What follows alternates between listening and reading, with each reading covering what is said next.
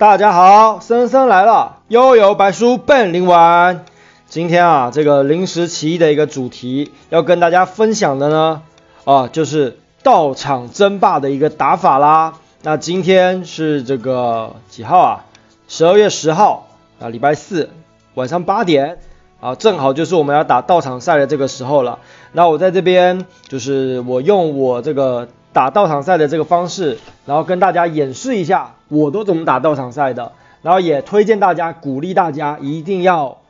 推，就是互相约自己的道场伙伴、道场会长，大家一起参与这个活动。因为悠悠白书这个游戏，呃，它是比较是属于收菜卡牌的这种游戏类型，那大家一定要爱上道场争霸赛，喜欢这个玩法，因为是跨服团体的游戏。会相当好玩，而且你实力越相当，打得越刺激，越有趣。然后像平时我就是快到八点的时候，因为我本身是这个我我们这个望月谷道道场的这个馆长嘛，对吧？然后我每次快到八点的时候，就快打道场赛的时候，我都会一一的，就是上微信，你看这些什么收到啊，有没有？什么在持久？就这些东这些朋友哦，都是我在打道场的一些朋友。好，然后现在已经是正式道场争霸赛开始的时候了，那我们就直接进来看一下。然后你进来的话，大家一定要注意啊，就是一开始不管是谁先占领这个岛屿，那你都要去试探一下，看一下对方的这个队伍。现在大家都很聪明了，不会说直接上这种呃太强力的队伍。为什么一开始不上主力呢？因为上主力的话，很容易会被对方先用一些消耗的一些队伍，例如说刺杀呀等等的，先把对方的一个主力劈掉。所以一开始不建议大家先上主力，你可以先上二队试试水温，这个样子。好，那这个一开始大家都非常的，这是对面的人啊，全部都是对面的人啊。然后好，都看一下哦，这个有五绝大藏马。反正玩这个道场争霸赛的话，大家要特别注意几个角色，五绝大藏嘛，然后跟 U R 弟弟哦这几只角色都要特别去注意。然后我在这边可以简单的跟大家分享一下，我觉得藏马哈，你可以用刺杀的任务药打它会比较好打。那现在台服还没有出嘛，没有关系。然后教给大家一个小技巧啊，就是。好，我来挑一个我打得过的啊，不然打不过可好笑了。OK，这个我应该打得过。好，你看，这是我的一个主力队伍，大家都要进去编辑好你的队伍，并且把兽灵摆放完全，然后储存好以后，然后就直接开打。哦，呃，这个已经那个了，所以要刷新一下。好，你看，这都是我的那个伙伴，他们已经打一轮了。你看这五个，刚刚都是对方的嘛，然后这五个都是我们的。好，那那大家的话要注意一下，就是譬如说，假设你现在要攻打对方，你攻打了以后，那你可以直接按左上角的退出，就可以结束战斗，然后电脑会自动帮你去结算是谁赢谁输，你不需要站在会就是站在战斗中去看他们打，这个太浪费时间了，根本就不需要，你直接按退出就可以知道你打赢还是打输了，然后。打这个道场赛的一个规矩哈，就是我假如说把对方击倒了，然后这个岛岛屿会有一个三十，呃，会有个一分钟的保护时间。那这一分钟的话是对方没有办法进攻的，所以大家也要去抓这个时间差。例如说在八点五十九分的时候，你把这个岛攻下来了，那对方不是还有一分钟保护时间吗？那对方会因为没有办法打这个岛而导致我们获胜。那大家要把这个概念反推给对方，他假如用这种方式对我们怎么办呢？所以到场会长或者是指挥官，你必须要去控制每一个岛，就是快到点的时候的那个时间，你必须要去掌握到，不然的话就是可能会让你输了这场比赛。好，那我们现在看一下这个天哦，我的到场的朋友又把它打下来了，完全不需要我出手，大家打的都非常的开心。好。好像有个岛被打下来了，我看一下啊，这个右下角你看，这个狂热学者嘛，他用这个藏马跟树的这个大队伍做树的，然后把我们右下角的这个岛打下来了。那其实就是像这个样子，来来回回的。然后我们想要打得好，然后我们必须要掌握到我们的成员的出勤程度。你到场有几个人，你想要让到场赛获胜，请你要让大家都上线。你看我这个基本上就是都是在上线的。哦，然后后面这一些人的话，有一些人是半弃坑的状态下，然后晚一点可能就是我们直接上他的号，那就可以解决了。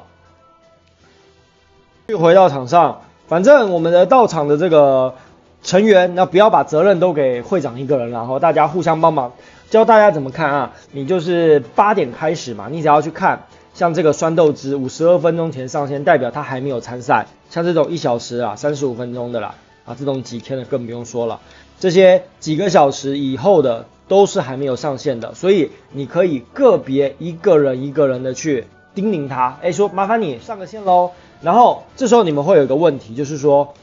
假设哎我的到场成员，因为大家都是社会人士嘛，都是工作的人，假如说有工作有家庭，那都没关系，你可以提前跟会长讲，把你的账号密码交给你可以信任的人，让他帮你上去放队伍。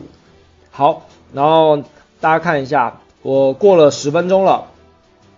好，目前我们都还是在战岛中。OK，大家看一下，像这个右下角这个已经很明显的被打掉了。那我等一下就准备把这个岛拿下。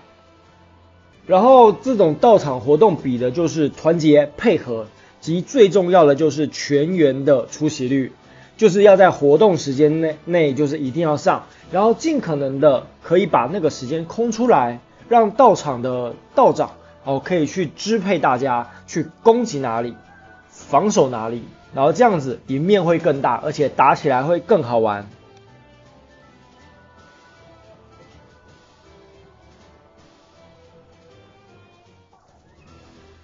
然后顺便再跟大家讲解一下打这个道场赛啊，每一个刀域它的布阵的话，像这个防守对不对？像这个时候我可以派遣我的防守，每一个的那个防守可以最多十个队伍。我要跟大家说一下，就是假设您看一下你的这个每一个岛屿，就是你们道场里面防守的队伍啊，就是假设我举个例，例如说，好，大家看一下，像这个队伍，它有一个五绝弟弟，还有一个五绝弟弟，就是有一至两个这种大佬的队伍已经在这个岛屿上面的话，请在这个地方不要把你的主力阵容、主力的队伍。把它堆上去，因为这个样子的话，很容易被对方放鸟。什么叫放鸟呢？很简单，就是哎，对方一看到说，哦，你这个岛屿里面有七八个或者是三四个以上的这种大佬队伍，那他可以很果断的直接放弃打你这个岛屿，因为这个游戏就是这个样子。你只要是在防守中的一个队伍，防守成功了，那对方呃就是防守成功了以后，那。你这个队伍不管再怎么样复活，都会卡在这个防守队伍里面而无法使用，所以这一招是非常非常的背哥哥的，大家可以懂这个意思吧？所以我们大家都不要犯这个错误，简单来讲就是不要强强扎堆的意思啦。好，那这个迷哦，我们的凶残把它打下来了。OK，我们今天大家这个出行率、出席率也是蛮蛮高的，像我们这个望月谷的道场在四区嘛。已经蝉联了四个赛季的冠军了。然后像我们的这个道场积分，大家可以看一下，哎，不是这个，道场争霸的道场积分，一八六九，我们这个分数即使连输五场以上，也还是第一名。所以，呃，我们大家会觉得这个游戏就是这个样子。你只要玩的够团结、够好玩，其实你就会觉得，哎，这个游戏还是不错的，嗯。好，很明显的是，对方并没有太大的一个失利。那这个时候的话，因为我本身我是小小的会长嘛，然后有一些会员他本身呃工作比较忙碌，那我就上一下他们的一个账号，帮他放个队伍，以免他领不到奖励。大家稍等。好的，我现在上的这个是我们也是道场有叫临界小学生，然后去他的这个账号，赶快帮他放个队伍。然后我看我的微信群啊，好像听说对方已经有点小小的放弃了，都没有人上队伍了。那大概是被我们的强悍给震震震慑住了。好，上个队伍就好了。啊，防守队伍已满，糟糕。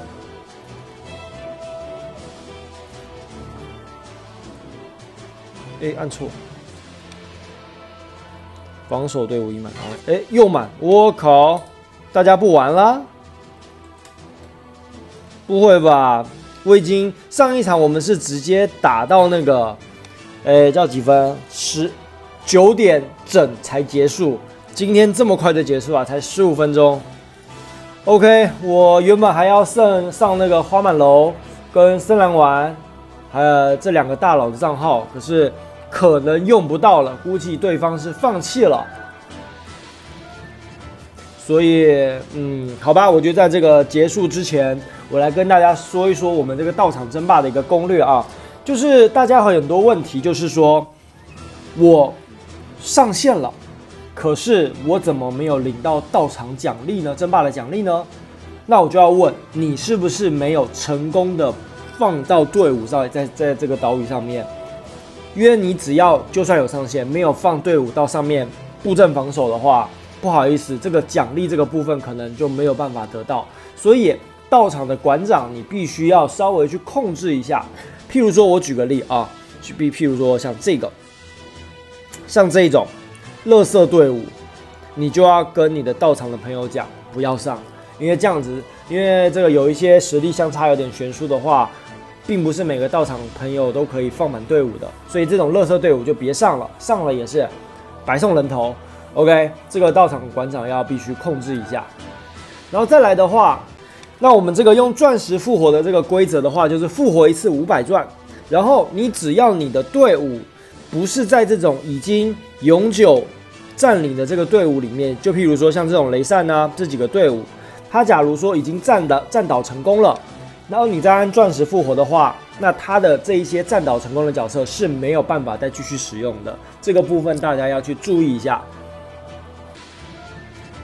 好的，我们现在已经四个岛已经完全占领了，这一场战局百分之三百是我们胜利了。然后我继续跟大家分享，然后到场奖励的一个部分该怎么样去这个提高你的奖励币呢？那跟大家分享一下啊，第一个是你的到场胜利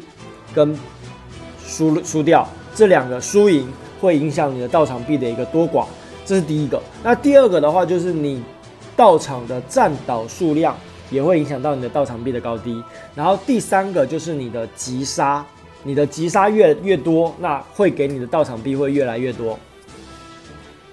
那你该如何正确的去进攻呢？你要先观察对方的像这个防守队伍的一个强弱，你不要拿鸡蛋去碰石头啊。我举个例，你看像呃，不要这个队伍，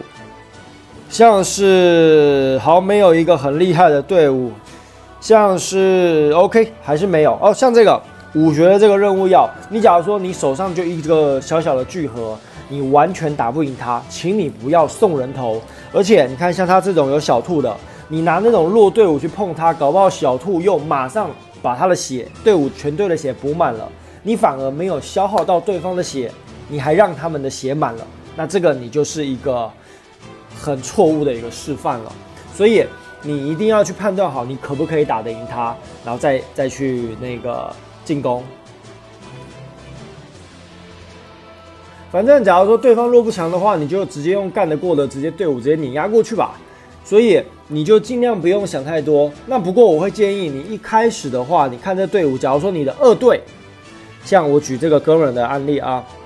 好，网络不好，像你假如说可以用二队的队伍就可以干得掉他的话，就不要用一队，一队尽量留着。然后我教一些大家一个小技巧啊。我们的每个道场里面一定会有几个